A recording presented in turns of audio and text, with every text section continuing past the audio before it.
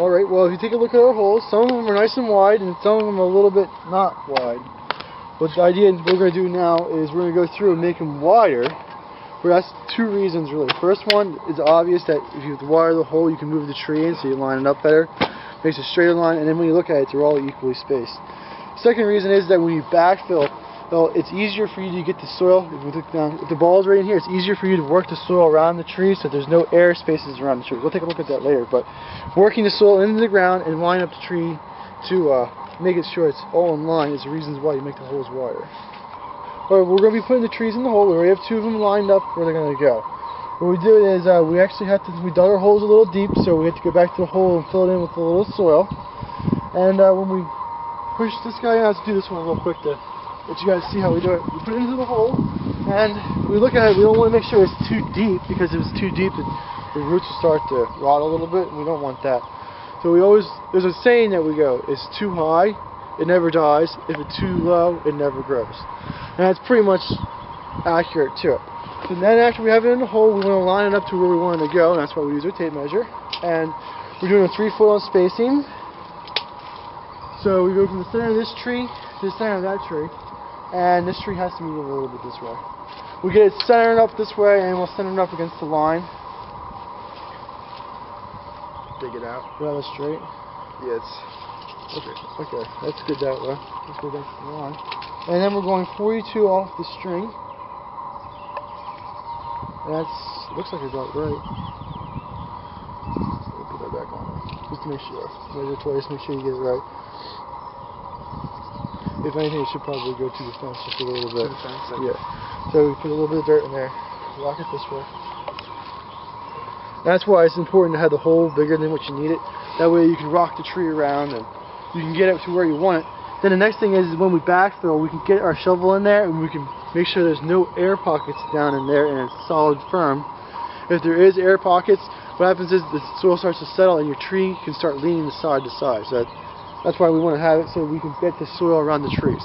If you look at our trees, we've been been moving them back and forth in the holes, taking one out and putting another one in its place.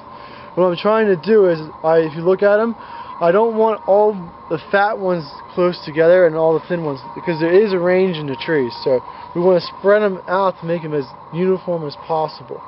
So when you look at it, you don't notice there's a difference in the line. So we're just about there. If you take a look at it, we only have to measure out the last four to make sure that they're right in line.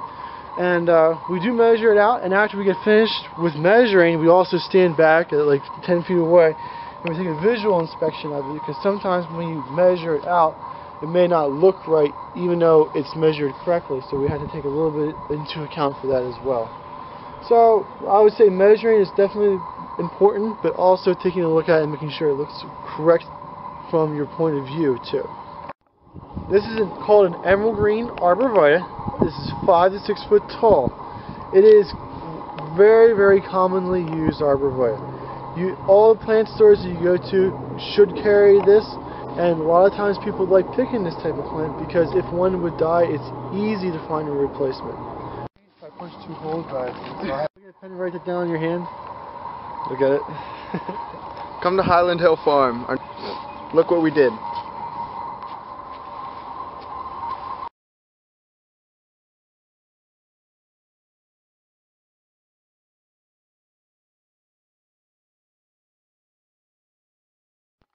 Highland Hill Farm is located in Fountainville, PA, in Bucks County.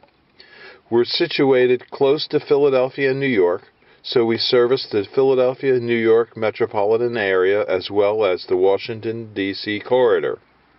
We ship from our Lenoir, North Carolina facilities, our Fountainville facilities, and our Milan, PA facilities. If you need trees or shrubs on the East Coast, we do deliver and install. So give us a call at 215 651 8329 for trees and shrubs. Or if you have a question about trees and shrubs, we'd be glad to try and answer your, your questions. So Highland Hill Farm is your source for information and also for trees and shrubs on the East Coast. Thank you.